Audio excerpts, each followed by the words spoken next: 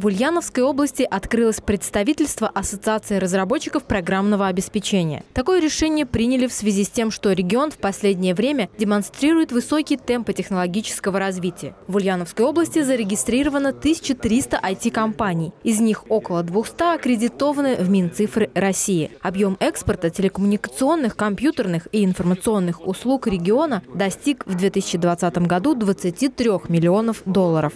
Я наслышан про вашу работу, и мне было бы важно увидеть ее результат собственными глазами. Разумеется, мы должны поддерживать, создавать благоприятные условия для того, чтобы специалисты компании работали в регионе и на благо региона. Это очень важно.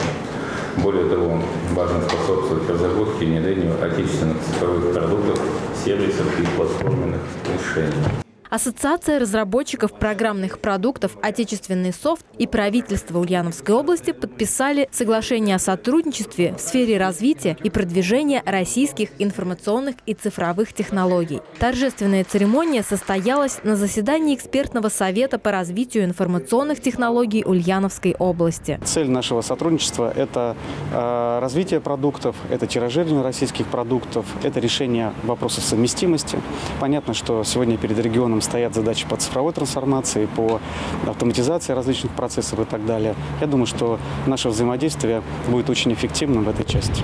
В рамках соглашения его участники планируют решать вопросы обучения кадров, информационной безопасности, законотворческой деятельности. Участники ассоциации открыты к взаимодействию. Они уже давно выявляют проблемы в отрасли и решают их. Формируют справочники, каталоги, привлекают финансирование, помогают получать гранты, субсидии и льготные кредиты. Также в рамках мероприятия состоялась презентация открытого пространства «Крыша мира». Еще в 2017 году э, проект показал высокую востребованность. За это время мы провели более 10 э, тысяч мероприятий. На этой площадке приняло участие более 50 тысяч э, человек. И мы поняли, что в условиях ограничений коронавируса есть необходимость площадки, где можно было бы организовывать, проводить мероприятия на открытом э, воздухе, но в центре города. Именно поэтому появилась эта идея.